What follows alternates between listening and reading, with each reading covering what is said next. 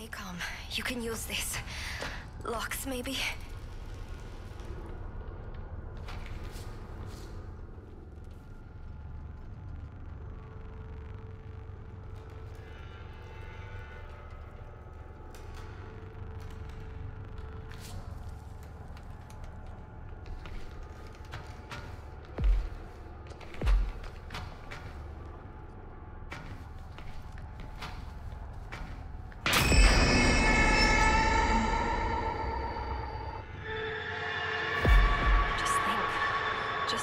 There's got to be a way out.